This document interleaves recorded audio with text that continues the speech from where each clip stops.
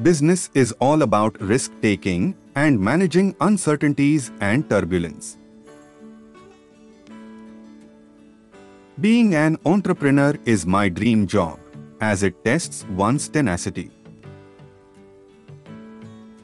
Infrastructure sector is all about building assets for the country.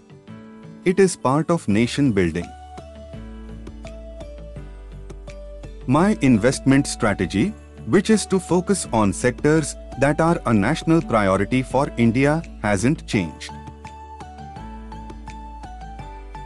I analyze in my own way, in very simple, no jargon language.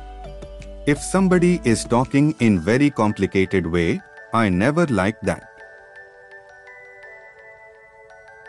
One of the strengths of Adani is that, because we are controlling mines, ships, ports and logistics, we are the cheapest solution provider for end users.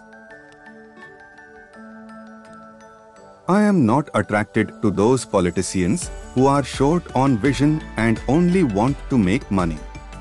I like those who have vision. Along with opportunities, there also exist many other tricky and complex issues to be managed in India. These include tackling both policy-level challenges and infrastructure challenges. From my experience in working with bureaucrats and politicians, if you are a credible business group, they will definitely help you. At the end of the day, they, too, want development of their constituency, state or country. Adani Enterprises is well on track to realize its aim of emerging as India's largest private sector energy and logistics conglomerate. Any commodity that sees its price going higher will see new mines opening up. When the supply increases, the prices soften. When prices fall, some mines with higher production costs will shut down as they become unavailable.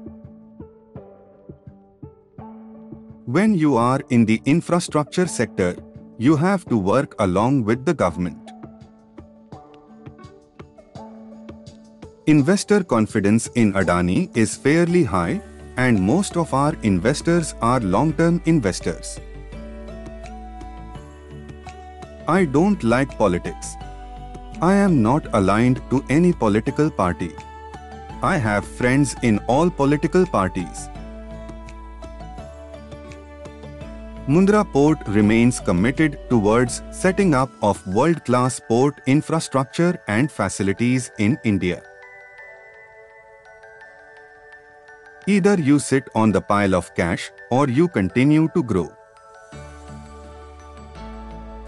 My investment strategy, which is to focus on sectors that are a national priority for India, hasn't changed.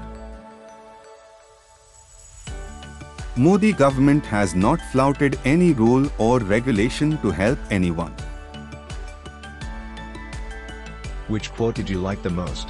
Do let us know in the comment box. Also hit the like button and subscribe the channel for more such videos.